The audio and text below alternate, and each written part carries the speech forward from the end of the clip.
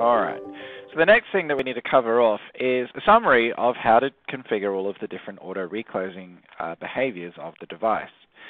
So it's important to see that we have auto reclosing configuration for overcurrent, NPS, earth fault, SEF, neutral admittance, and actually any of the other protection features throughout the system.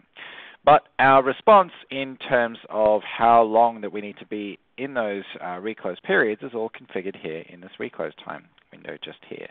So our first, second, and third reclose time is all configured just here. And lastly, the reset time. So after you're in a series, how long before you reset back to the start of the series, that is configured here. So this configuration here applies to all of the different reclose elements throughout the entire system.